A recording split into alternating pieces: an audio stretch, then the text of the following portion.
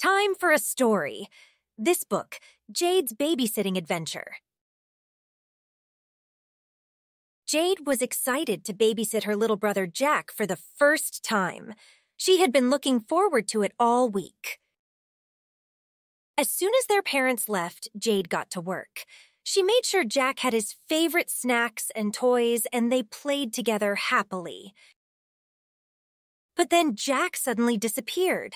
Jade searched the whole house but couldn't find him anywhere. She started to panic. Just as she was about to call her parents, Jade heard giggling coming from outside. She looked out the window and saw Jack running down the street. Jade quickly ran after him, but Jack was too fast. He was having the time of his life exploring the neighborhood on his own. Jade was worried and scared.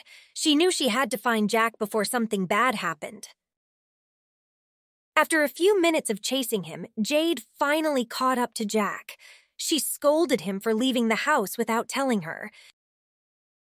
But Jack didn't understand why Jade was upset.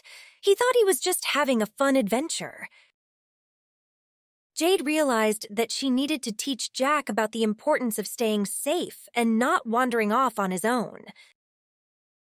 She explained to him that he could get lost or hurt if he left the house without an adult. Jack understood and promised to always stay with Jade from now on.